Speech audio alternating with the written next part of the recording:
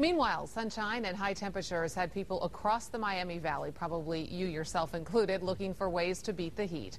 Our Dave DeMarco is outside right now to kick off our live team weather coverage of the heat wave. Dave?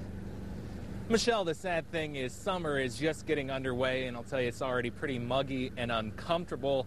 So, with a couple of months of this still coming at us, people I spoke with said they aren't going to let the heat beat them.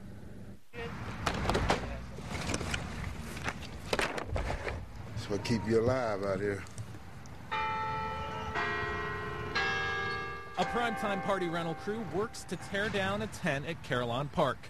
It's almost high noon, and they've been at it since 8. We like to get most our big stuff done in the morning when it's still cold. Cooler, I guess. Not cold. Once they finish removing the flooring, they have to start building a tent elsewhere. So they have to pace themselves with frequent breaks. But we got a water jug in the truck.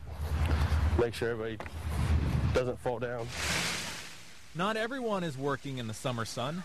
This group of kids spends the morning frolicking in the fountains. You know, we saw this today, and he was like, "Can I get in? Can I get in?" I said, "Yeah." That was having lots and lots and lots and lots and lots and lots and lots and lots and lots and lots of fun. Wow. By the end of their bike ride from Beaver Creek, despite their water bottles, these two weren't feeling too refreshed. I mean, you can see the kids like we, they have the right idea. so they jumped in the fountains with them, figuring a soggy two-hour bike ride back home is better than a sweaty one.